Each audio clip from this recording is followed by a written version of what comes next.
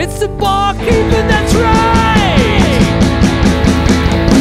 Well, boys, looks like another 12 and a quarter blues for you tonight. It's a 12 and a quarter blues rocking tonight.